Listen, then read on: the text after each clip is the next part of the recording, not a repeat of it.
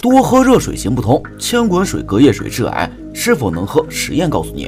不知从何时起，多喝热水成为了遇到困难不舒服时的万金油解决方案。但是如今，越来越多人出来反驳，多喝热水是行不通的。其中，对于千滚水、隔夜水，甚至是电水壶烧的水，都有很大的成见。不仅不能够解决问题，还可能会对身体产生较大的负面影响，比如致癌等等。这些水到底能不能喝呢？今天来一探究竟。对于千滚水、隔夜水、电壶水不健康的说法，他们给出的理由大致如下：千滚水是指反复烧开的水，反复烧开的水，亚硝酸盐的含量水平不断提升，且容器中的有害物质同时会进到水中。隔夜水的危害就是会掉落很多的细菌，并扩散繁殖。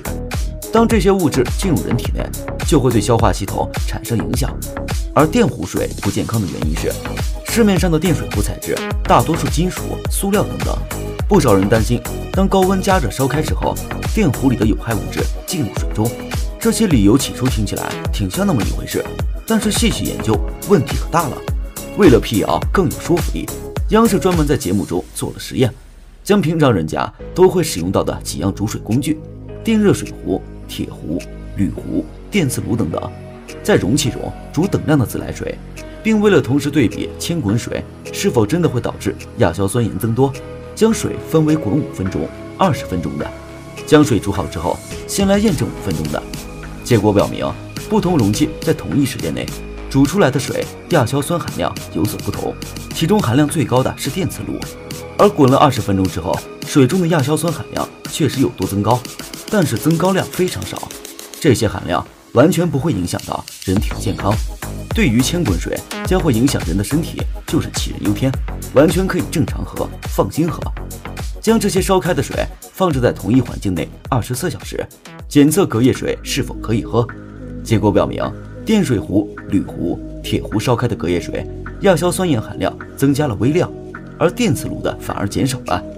同样，这些亚硝酸盐含量不会对人造成很大的影响，可以放心喝。最后。就是对于不同材质烧出的水，是否也会对人体健康产生影响？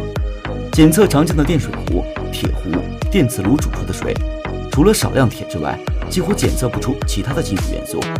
但是铁元素是我们身体所需的重要金属元素，对身体无害。所以那些流传电水壶烧开的水喝不得的说法，无非是无稽之谈。但是让人大跌眼镜的是，以前每家每户都必备的铝壶。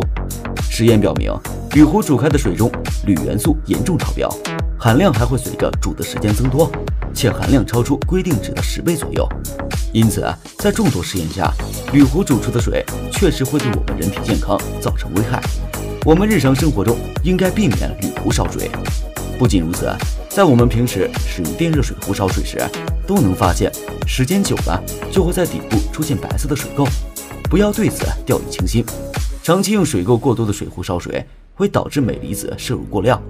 在平时，我们一旦发现水壶底部出现水垢，可以倒入适量的白醋，煮沸之后再将其倒掉，就可以轻松解决水垢问题，更好的为我们健康身体保驾护航。更值得注意的是，多喝热水，不要多喝开水。热水的热度不要过高，应当是喝温开水。过高的水会让肠胃受损，造成肠胃癌。对于千滚水、隔热水，你们怎么看呢？